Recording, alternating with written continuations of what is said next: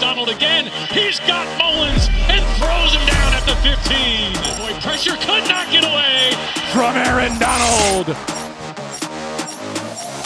Pressure coming. It's Donald again. How about AD 99? No way another grown man is supposed to do this to other grown men.